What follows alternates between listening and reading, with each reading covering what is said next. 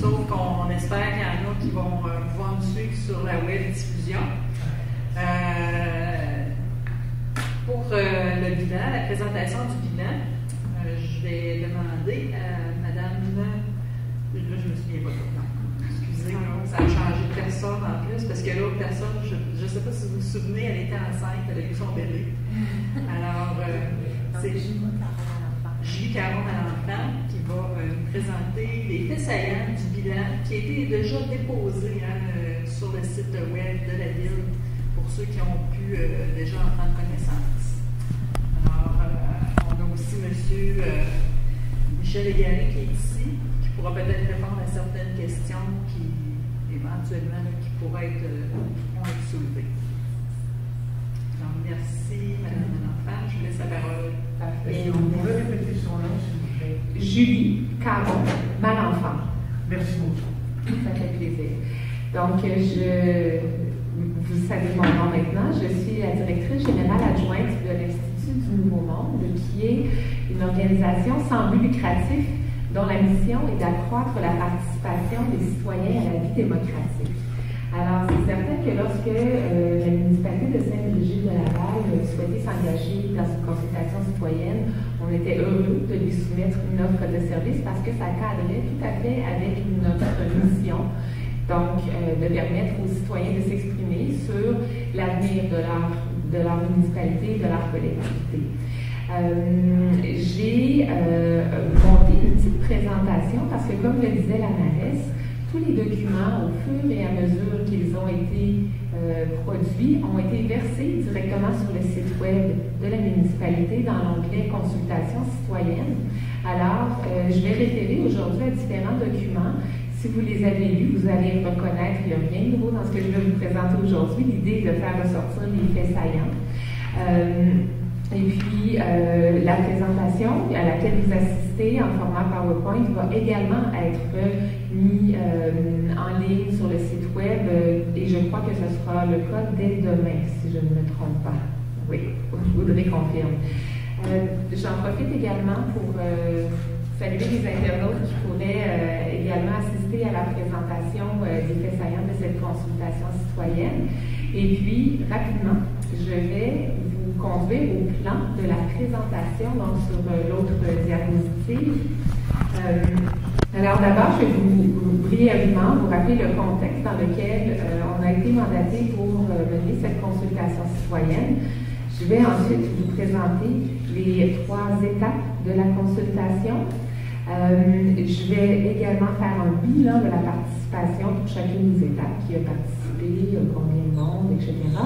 Et ensuite, je vais m'attarder aux faits saillants, d'une part du diagnostic, et ensuite les faits de l'ensemble de l'opération, donc les grandes lignes euh, qu'on devrait retenir de cet exercice citoyen qui a été euh, rendu possible en fait grâce à la volonté euh, du conseil municipal et avec la complicité des employés de la municipalité de Sainte-Brigitte de Laval.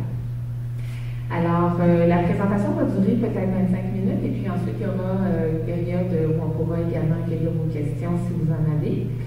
Euh, donc, pour présenter rapidement le, contexte de la consultation, je crois que de toute façon, vous le connaissez bien, le contexte dans lequel vous vivez, c'est votre quotidien, mais il y a des défis importants auxquels Saint-Brigitte de Laval est confrontée, notamment euh, la croissance importante de sa population et également une transformation du profil sociodémographique euh, de la population. On voit apparaître de plus en plus de jeunes familles. Euh, il y a également, pour soutenir cette croissance démographique, des projets de développement immobilier qui se multiplient sur le territoire. Et on constate, par contre, parallèlement à ça, que l'offre de services commerciaux ne suit pas le rythme de développement de la population. Euh, alors, c'est pour cette raison-là que euh, Sainte-Brigitte, le nouveau conseil municipal souhaitait se lancer dans un exercice pour permettre aux citoyens d'exprimer quelles étaient leurs aspirations pour la collectivité. Et euh, on s'est proposé de le faire entre juin et novembre, c'est-à-dire qu'aujourd'hui, on vient clore cet exercice, donc qui s'est étendu sur cinq mois. Euh, L'idée était d'entendre les préoccupations, les besoins, les aspirations des résidents, et tout ça dans l'objectif d'alimenter la planification stratégique euh, que la municipalité euh, va se, se, propose de faire euh, dans la prochaine année. Alors, euh, bon, c'est l'Institut du Nouveau Monde, notre organisation, qui a euh, animé euh, l'ensemble des étapes de cette consultation. J'ai été associée de près, vous m'avez peut-être pas vu à la dernière activité, c'est vrai que c'était ma collègue Mallory Flon qui était présente.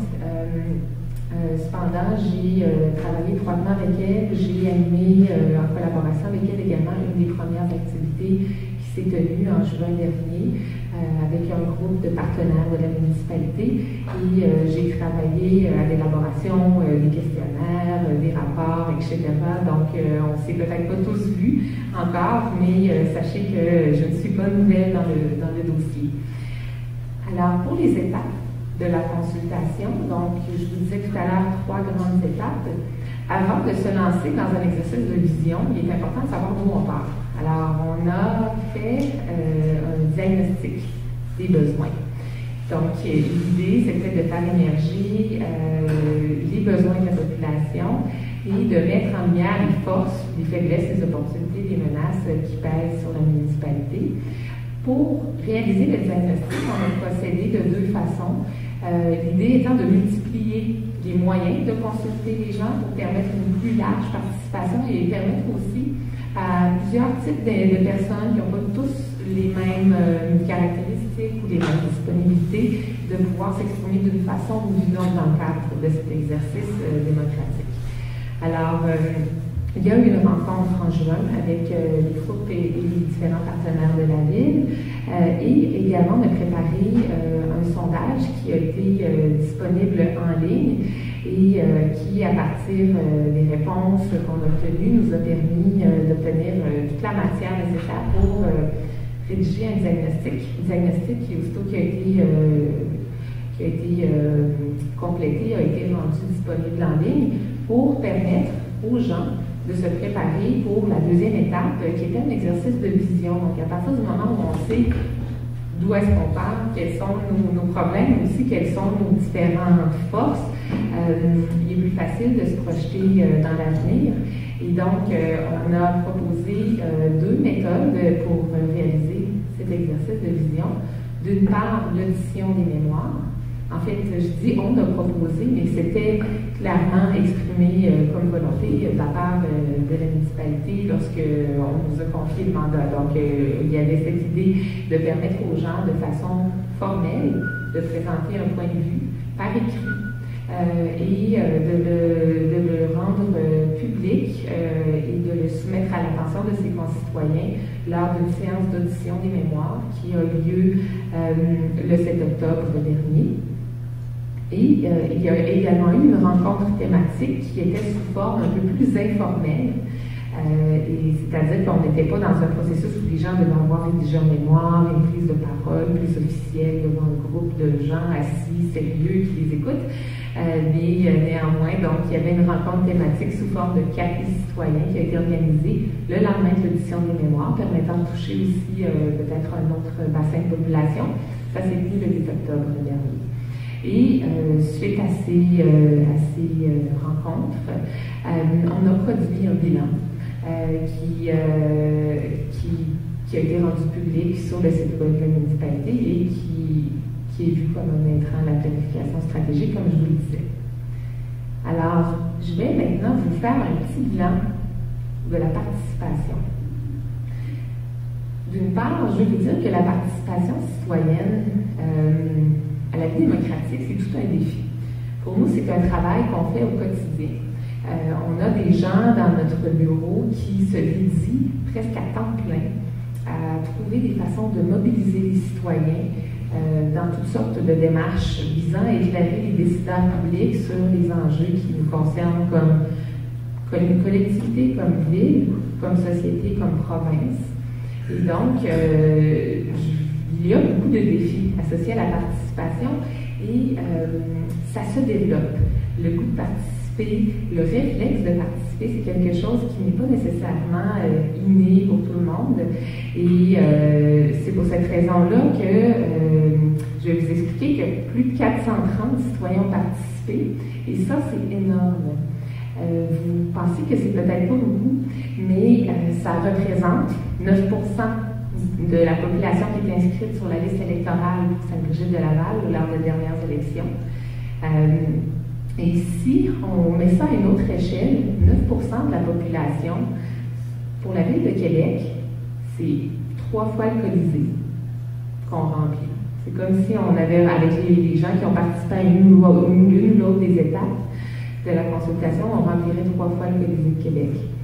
Si on était à Montréal, euh, Montréal on remplirait huit fois le centre de citoyens si on réunissait 9% de la population.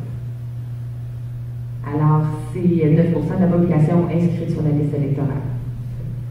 Euh, donc, c'est une bonne, euh, une bonne participation et c'est un réflexe qui se développe. Je crois que c'était un des premiers exercices euh, de participation citoyenne qui avait lieu dans la municipalité depuis longtemps. Alors, je voulais simplement vous dire que vous aviez un bon bilan.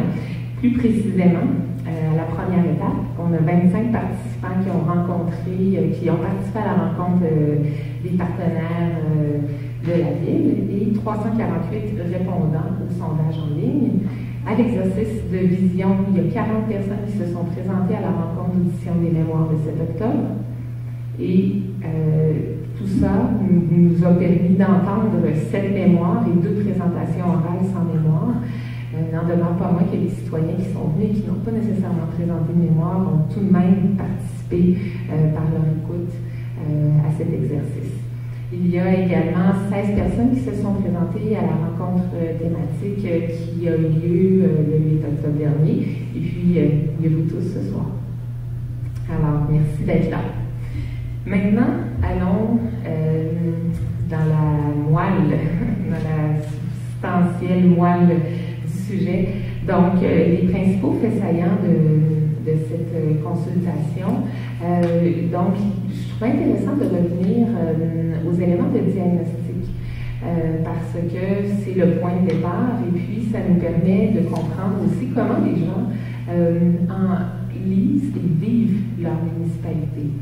Donc, les éléments du diagnostic, je vais passer à travers eux. Les forces, finalement, c'est ça sur quoi on peut compter pour assurer notre développement.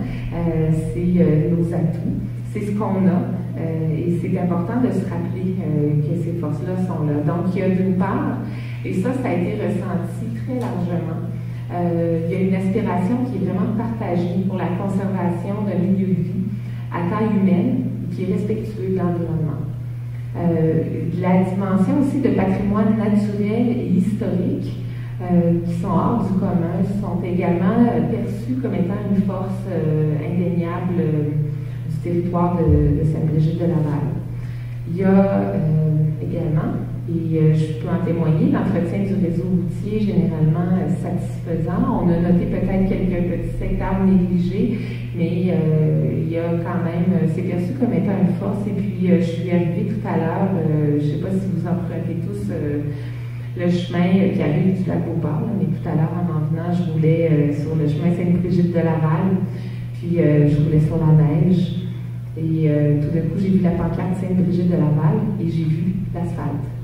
Le, déneigement était au rendez-vous. La route a changé complètement de condition dès l'entrée dans la municipalité de Sainte-Brigitte de Laval, alors euh, je voulais simplement faire un petit clin d'œil.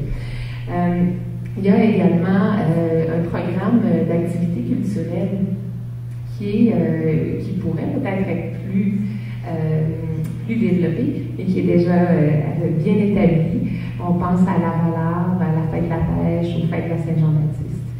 Euh, il y a également des projets de développement d'infrastructures en cours comme euh, l'école, euh, il y a un CPE et il y a toute une série d'autres projets qui visent à doter la municipalité d'infrastructures, entre autres sportives, si je ne m'abuse. donc ça, ça fait partie des forces. il y a également le capital de confiance de la population vers le conseil municipal. Euh, conseil municipal qui euh, démontre, et, ça semble bien apprécié, euh, une volonté de travailler avec les citoyens, une volonté d'être à l'écoute des besoins des citoyens. Ça, ça a été noté comme étant quelque chose d'assez positif. on parle aussi un peu dans la même lignée de la, de, la, bonne relation, de la bonne dynamique et des outils de communication qui permettent justement de faciliter cette communication, ce lien de façon régulière avec les citoyens. Et de façon générale, les gens sont assez satisfaits des services qui sont offerts de la ville. Donc, on ne part, pas, euh, part pas de rien. Maintenant, quant aux faiblesses, euh, c'est certain que euh, on aimerait ne pas avoir de faiblesses, mais en même temps, en ayant un regard clairvoyant, ça nous permet peut-être d'identifier des sources d'opportunités parmi ces faiblesses. Euh, j'ai euh, un professeur d'ailleurs euh, en développement économique urbain qui me disait ça, lui, dans ses équipes, il disait toutes les faiblesses qui sont là, il faut qu'on les réussisse à les convertir en, opportunités. Et ça devient un peu un plan de travail, une liste de, choses à accomplir ou de drapeaux rouges qu'il ne faut, pas, qu'il faut pas oublier de traiter pour s'assurer que ces faiblesses-là ne vont pas se, se, pérenniser. Donc, euh, les faiblesses concernent autant euh, des, éléments qui peuvent être euh, des champs de compétences directement de la, municipalité, mais d'autres fois, ce n'est pas toujours directement des champs de compétences de la municipalité. Ça, je tiens à préciser aussi que c'est peut-être des choses qui, qui sont qui vont se retrouver dans les autres éléments. La municipalité ne peut pas tout faire mais euh, la municipalité peut parfois agir comme facilitateur, euh, peut euh, créer des liens, etc. Donc, ça ne veut pas dire que tout ça doit devenir un programme de travail direct de la municipalité, mais ça peut faire partie des, sujets qui peuvent être à l'ordre du jour de différentes rencontres ou discussions. Donc, la fréquence de passage d'autobus, je pense qu'il n'y aura pas de surprise pour les besoins croissants de la population. Euh, il y a euh, également, qui est, ressorti comme faiblesse, euh, la relation qui existe avec la municipalité voisine que je nommais tout à l'heure pour la protection du chemin de la traverse.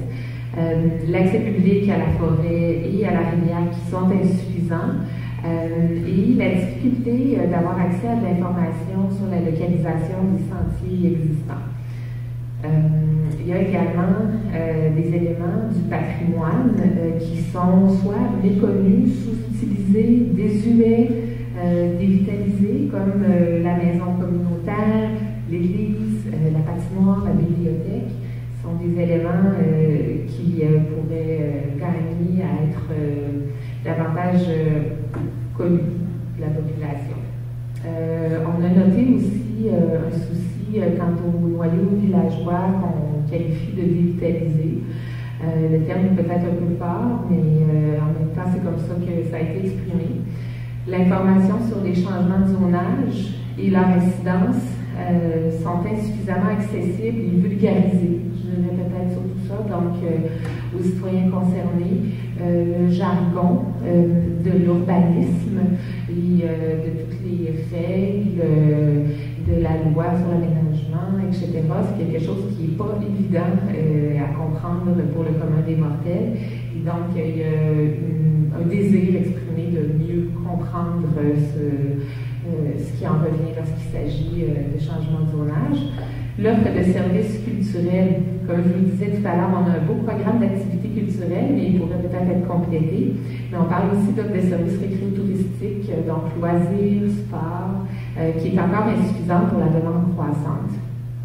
Quand je dis demande croissante, euh, il y a entre autres les besoins des jeunes familles, mais il n'y a pas que les besoins des jeunes familles, il y a également les besoins la population en général, euh, des adultes et, peut-être aussi de la part des, des, retraités de la communauté.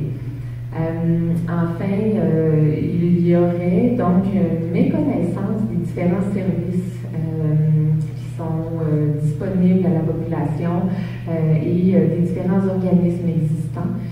D'ailleurs, lorsqu'on a animé la rencontre avec les, les, partenaires de la ville en juin dernier, on, voyait bien que c'était une occasion, cette rencontre-là, pour eux de, faire connaissance et de partager entre eux-mêmes l'offre qu'ils ont pour la population lavalloise.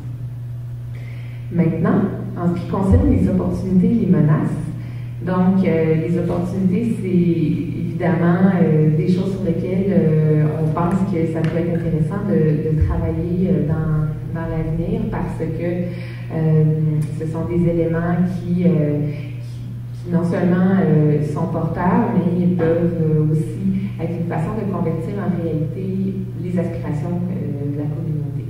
Donc, tout ça, je vous dis, c'est ce que c'est ce qu'on a entendu en fait. C'est pas nous qui l'avons euh, mais euh, on voit donc clairement qu'il euh, y a une opportunité qui est amenée par le fait qu'il y a de plus en plus de jeunes familles, il y a une population croissante, et donc ça amène un certain dynamisme dans la communauté, peut-être un peu d'air frais, et peut-être des nouvelles forces vives qui se manifestent dans la communauté. Il y a également fait que la population augmente, que le développement résidentiel augmente aussi, une augmentation des revenus de taxation euh, donc, euh, pour la municipalité. Euh, il y a un grand potentiel touristique sur le territoire. je pense que ça ne fait pas de doute.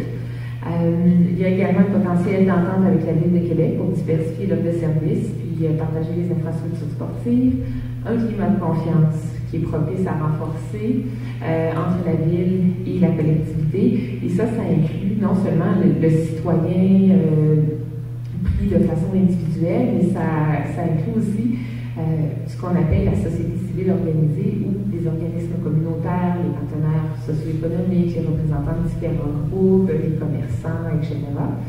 Et les citoyens nous ont en quelque sorte exprimé une volonté de resserrer les liens, les interactions entre les, anciens résidents, ceux qui sont là depuis longtemps, qui étaient là avant les années 2000, avant qu'il y ait ce boom démographique, euh, donc, et avec les nouveaux résidents, euh, pour permettre de créer des ponts davantage. Alors, il y a cette volonté qu'il y ait un renforcement des liens sociaux entre les différents membres de la communauté.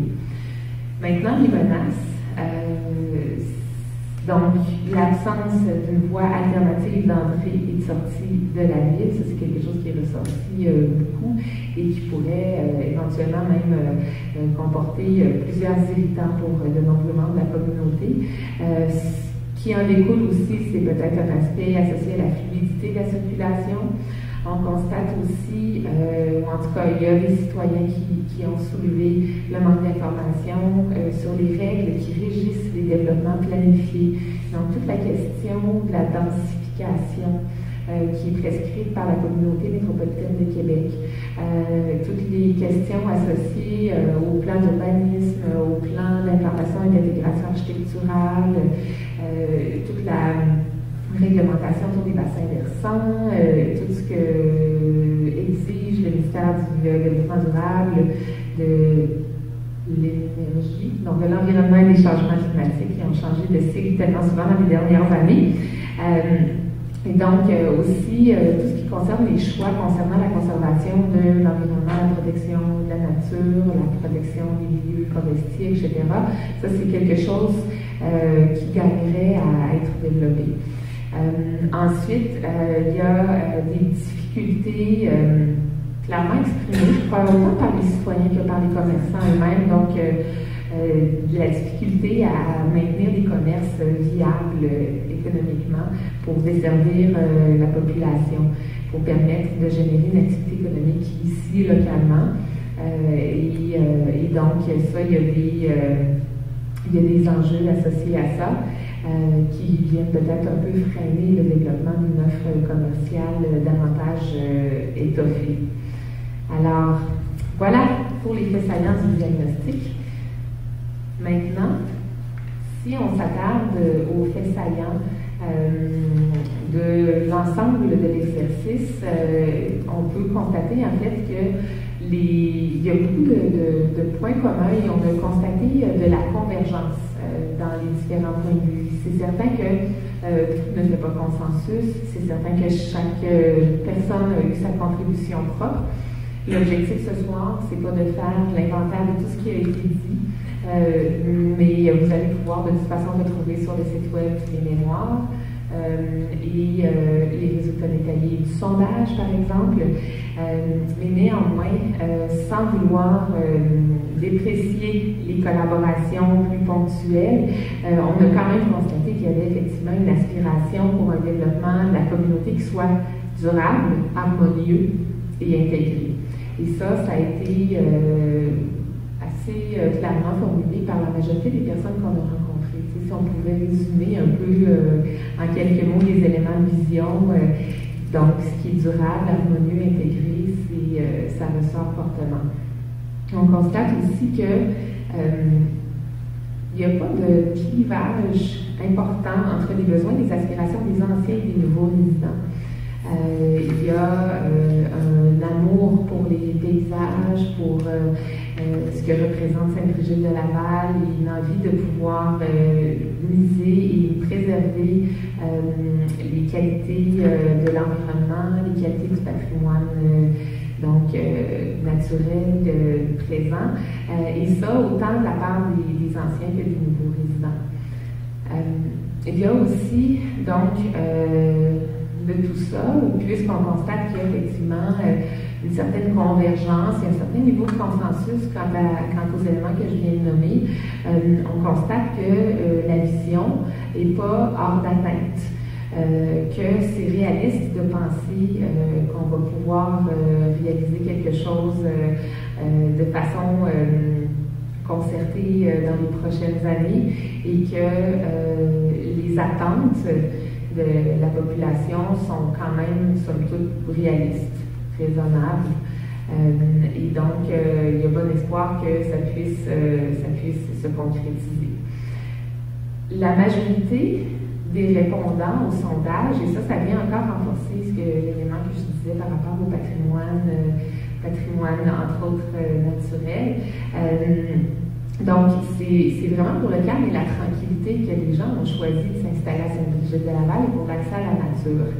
Euh, donc, euh, c'est quand même des éléments assez importants euh, à retenir. Et lorsqu'on a demandé aux citoyens qui ont répondu au sondage de classer les champs d'action de la ville, on leur a demandé de les prioriser. Donc, ce qui est présenté sur la diapo, c'est ce qui est priorisé. Donc, il y a le réseau routier. on l'a vu ressortir tout à l'heure, autant comme une, comme une force que comme une menace. Euh, il y a donc la qualité de l'environnement, le développement récréo-touristique, le développement commercial, l'information citoyenne et la vie démocratique, le transport collectif, le développement résidentiel et le développement industriel. Donc ça, c'est les champs d'action placés par ordre de priorité. Donc, les accès et la qualité de l'environnement, puis ensuite s'assurer qu'il euh, y a une offre suffisante pour satisfaire euh, les besoins de loisirs, de sport, de culture euh, de la population. Ensuite, développement commercial, donc information citoyenne, transport collectif, développement résidentiel et industriel. Ensuite, pour revenir aussi, faire ressortir d'autres éléments qui sont ressortis assez fortement du, du sondage et qui finalement sont en quelque sorte corroborés par des autres étapes de la consultation, c'est euh, un plan d'action prioritaire. Euh, donc, euh, ce sur quoi la ville devrait prochainement se mettre à travailler. donc, l'idée de créer une voie de contournement pour éviter qu'il y ait une seule entrée-sortie de la ville, développer des accès publics à la nature, entretenir le réseau routier, développer des infrastructures à caractère sportif, et adopter une politique de protection de l'environnement. Alors, tout à l'heure, je vous présentais les champs d'action de la municipalité classés par ordre de préférence. Maintenant, c'est un peu les actions prioritaires. Dans ces champs d'action-là, quelles sont les actions à, plus court terme qui devraient être euh, mises, euh, mises en branle? Donc, voie de contournement, développer des accès publics à la nature, entretenir un réseau routier, les infrastructures à caractère sportif, puis la politique de protection de l'environnement. Finalement, tout ça concorde avec tout ce qui a été dit précédemment. Il n'y a pas de contradiction euh, vraiment entre euh, ce, que les, ce, que les, citoyens disent. Euh, les citoyens encouragent aussi, peut-être toujours dans cet esprit-là de protection de l'environnement, etc. Donc, de, les citoyens encouragent la ville à se doter et à mettre à jour tous les outils d'urbanisme et d'aménagement pertinents, incluant les, les règlements de zonage, pour affirmer et réglementer sa vision de développement à long terme. et ce, qui est ressorti, donc, c'est que cette vision de développement à long terme devrait être axée sur la valorisation du, patrimoine naturel et culturel pour faire de Saint-Égypte de Laval une ville dynamique et attrayante. Euh, les citoyens appellent aussi le développement de politiques municipales de développement durable et d'une politique culturelle. Euh, et, euh, et, puis, il est suggéré en, en, filigrane que ce soit fait en s'appuyant sur les outils de la MRC, donc la municipalité régionale de comté. Donc, se doter d'une politique, de politique. Les citoyens aussi appellent ou invitent la ville à maintenir des liens étroits de communication avec la population, notamment sur les dépenses et les choix d'investissement, euh, sur les évaluations foncières. Le niveau de taxation euh, préoccupe. Euh, et la rétention des jeunes familles est également un souhait exprimé par la population. Pour compléter, c'est notre dernière page de présentation. On a entendu aussi clairement donc, que la Ville de entamer une négociation avec le ministère des Transports. Je ne sais pas si c'est quelque chose qui est possible ou envisageable, si ça fait partie euh, des, priorités de la municipalité. Et donc, pour la construction d'une deuxième voie d'entrée et de sortie pour permettre de rejoindre une autre municipalité et autre autoroute. Les citoyens sont aussi soucieux d'un développement économique durable euh, qui permettent de vitaliser le noyau villageois, qui préserve les paysages et la qualité de vie des citoyens. Et euh, on souhaite aussi une augmentation de l'offre d'activité d'équipes En fait, ici, c'est un peu la conclusion de ce que, de ce que je vous ai tout dit, résumé dans une phrase. Euh, et enfin, les citoyens apprécient c'est ce qu'on a compris, et souhaitent euh, conserver une relation de communication de proximité avec la ville, avec les élus, pour que leurs besoins et leurs revendications soient entendus, pour pouvoir influencer la prise de décision et pour pouvoir compter sur le soutien de la municipalité à la hauteur de ses moyens, de ses capacités, de ses responsabilités, euh, donc dans la réalisation de leurs projets et de leurs inspirations. Alors, euh, je vous dirais que ça résume euh, les principaux faits saillants de ce qu'on a entendu au cours des derniers mois lors de nos différentes activités de consultation. Tantôt, c'était des rencontres en personne, tantôt, c'était par l'entreprise de sondage en ligne. Et puis, ben, je vous invite peut-être à commenter, poser des questions. Euh, je suis là pour ça. Merci. Merci. C'est Jean. Julie. Je vous ai pas dit Julie. Est-ce qu'il y a des gens qui ont des questions?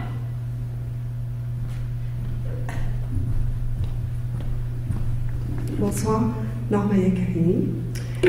Euh, en fait, euh, je voulais savoir, fort de ces résultats donc, de la consultation citoyenne, euh, à quand on peut s'attendre à ce que le Conseil nous fasse part de ses orientations et de sa vision stratégique? C'est certain que vous allez avoir les premières orientations du Conseil lors du dépôt du budget qui va avoir lieu le 8 décembre prochain.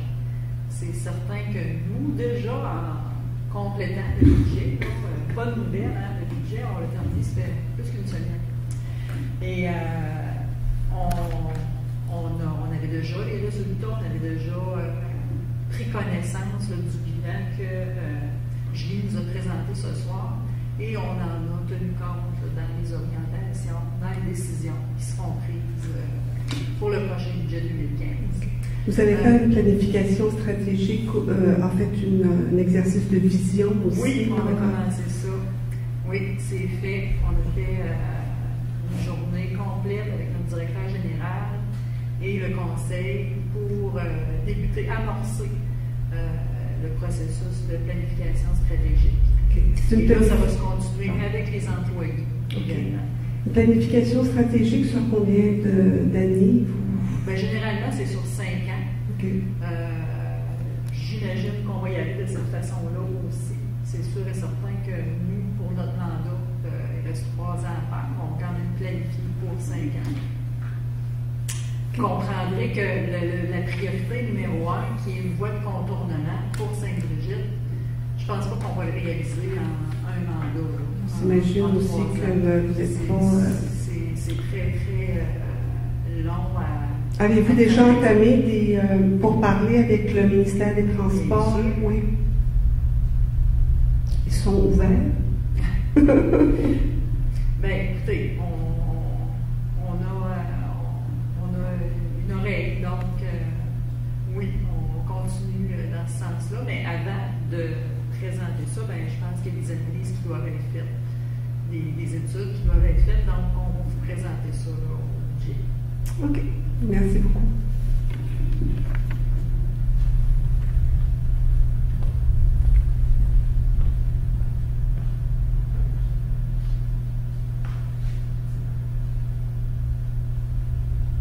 Est-ce qu'il y a d'autres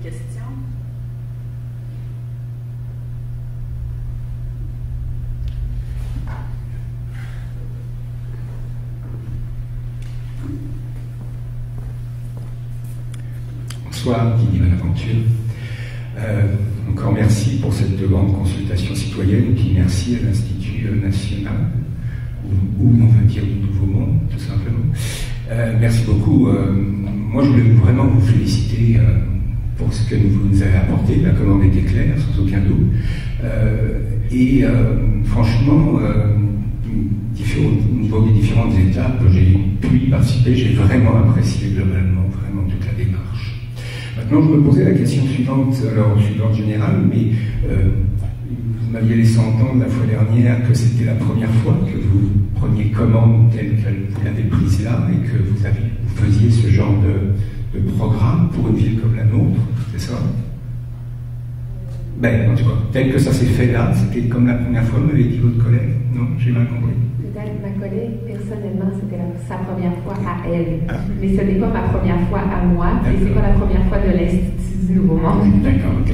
Je me demandais juste par curiosité, si c'était à refaire, qu'est-ce que vous ne referiez pas et qu'est-ce que vous feriez le mieux, s'il vous plaît? Wow! Oui. Belle école!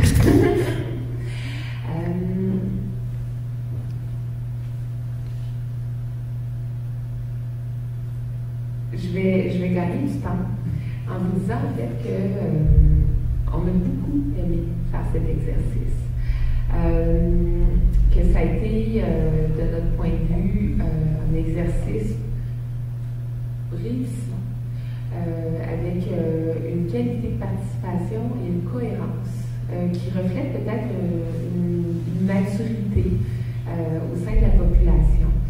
Euh, je dois aussi dire que si je réfléchis en termes de, qualité de collaboration, euh, la ville euh, a démontré une ouverture tout à fait authentique. Les citoyens, en disant qu'ils apprécient que la ville soit à l'écoute, etc., de notre point de vue, puisqu'on on a accompagné la ville et qu'on devait les conseiller sur la façon de mettre les choses en ligne, etc., il n'y a jamais eu de résistance. Au contraire, il y avait vraiment une- une volonté, euh, une promptitude à réagir. Alors, euh, je vous dirais que je, je que j'y pense. Laissez-moi euh, laissez-moi faire quelques minutes parce que franchement, ça a été pour nous un bel exercice. Sur le plan professionnel, ça a été fun de travailler dans ce projet-là. Alors, euh, sans doute qu'il y a des choses qu'on pourrait améliorer. J'en doute pas. Par exemple, ma collègue aurait peut-être pu accoucher un mois plus tard pour être avec nous ce soir aussi. C'était peut-être pas dans ce sens-là, c'était effectivement euh, euh, ce qu'on pourrait faire d'autre, autrement, puisque oui, on, peut constater qu'il y a eu une bonne participation, vous le dites, par rapport aux études comparatives. Simplement ce soir, peut-être qu'on aurait espéré être plus nombreux, c'est toujours difficile ce genre d'exercice. Moi, je, je trouve que par rapport à une étude comme ceci, par rapport au travail ce qu'a apporté la municipalité vis-à-vis de cette démarche, je trouve que c'est on est peu récompensé et que euh, peut-être des gens comme moi euh, ne seraient moins apparus comme tout le temps, comme trop présents si tant on avait plus de gens qui avaient pu participer. Voilà, c'est ce que je dirais. Donc merci beaucoup de toute façon globalement. Bonsoir.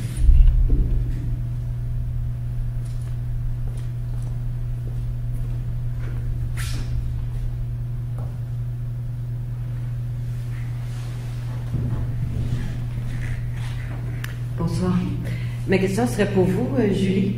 Euh, à quel intervalle devrions-nous vérifier le degré de satisfaction des citoyens? Euh, ben, encore là, c'est une bonne question. Il y a plusieurs dimensions, je vous dirais, à la, réponse. D'une part, il y a la question des moyens financiers. Je l'admets tout de suite parce que c'est sûr que ça engage toujours des coûts. Euh, il y a des coûts, d'une part, pour mettre développer des sondages, administrer des sondages, etc., mais aussi les coûts humains euh, associés. Euh, et ça, on ne les comptabilise pas toujours parce qu'il y a toujours un contrat, mais il y a des employés de la ville qui travaillent à faire la promotion de ce sondage-là, etc. Donc, euh, il y a la question des coûts. néanmoins, des sondages comme tels, c'est, il y a toutes sortes d'outils qui existent. et puis, ça peut être un réflexe annuel ça pourrait être intéressant, ou euh, aux deux ans. Et c'est vrai que ça peut être une façon intéressante d'obtenir le pouls de la population. Évidemment, il y a des questions méthodologiques, c'est-à-dire que si on répète un sondage à plusieurs reprises, on doit s'assurer de collecter des données de la même façon, de poser les mêmes questions pour avoir une récurrence dans les données, créer des séries historiques. La première fois qu'on fait un sondage, c'est une photo. Euh, mais si on veut effectivement évaluer l'évolution euh, de des besoins, de la satisfaction, des attentes de la population, mais c'est sur le temps, en fait, aussi qu'on va pouvoir mesurer cette évolution-là. Donc, c'est vrai que l'idée d'y aller de façon récurrente est, bonne. Euh, et euh, ensuite, c'est à savoir euh, quelle est la capacité de la municipalité de le faire à intervalles annuels. Je vous remercie.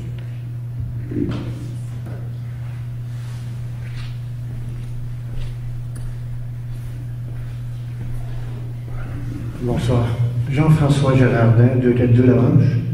À la suite de la question Christiane, je me posais la question comme ancien professeur qui a vécu avec des enfants devant lui pendant des années.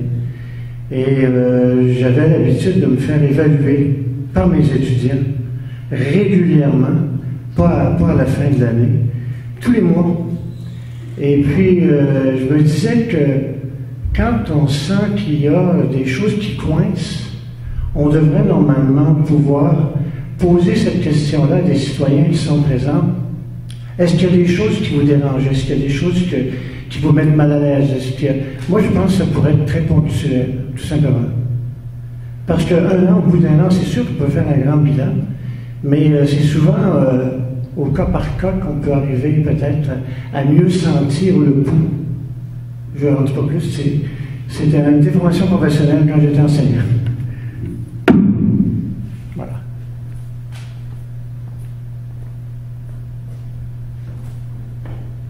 Je comprends que c'était plutôt un commentaire, hein? C'est une suggestion. Oui, oui, oui. Mais c'est des commentaires qui attirent des questions parfois.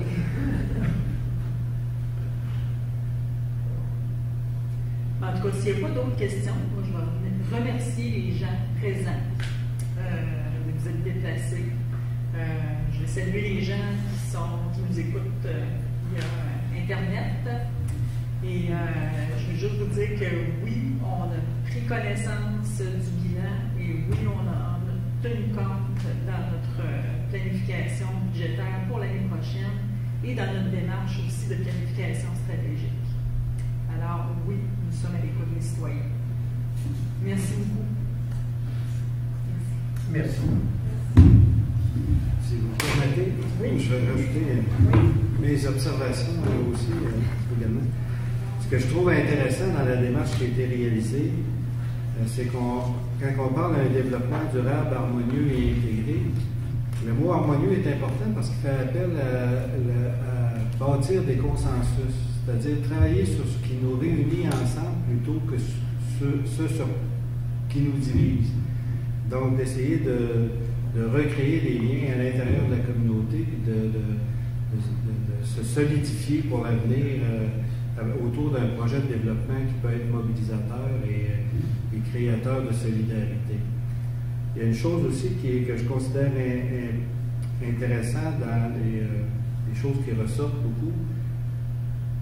les mots, il n'est pas écrit tel quel, mais moi je vois à travers ça L'aventure, la nature et la culture, c'est comme trois mots-clés qui, qui pourraient définir ce qui pourrait être la base d'un projet récréo-touristique éventuel.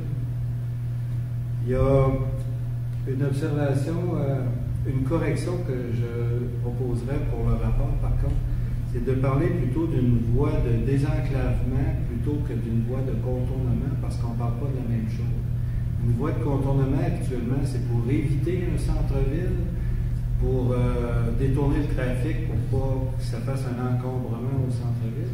Alors que si j'ai bien compris ce qui était le souhait de la population, c'est plutôt de créer des liens vers l'extérieur de la municipalité. Donc le mot désenclavement sera peut-être plus approprié en termes de vocabulaire. Pour le reste, ben, félicitations à tous ceux qui ont contribué. Je pense que c'est euh, le fruit de votre travail, de, l'énergie que vous avez mis dans la démarche. Peut-être pour vous dire au niveau du suivi aussi, euh, c'était la première étape d'aller consulter la population pour savoir qu'est-ce qu'elle a à dire et comment elle voit un peu l'avenir de la municipalité.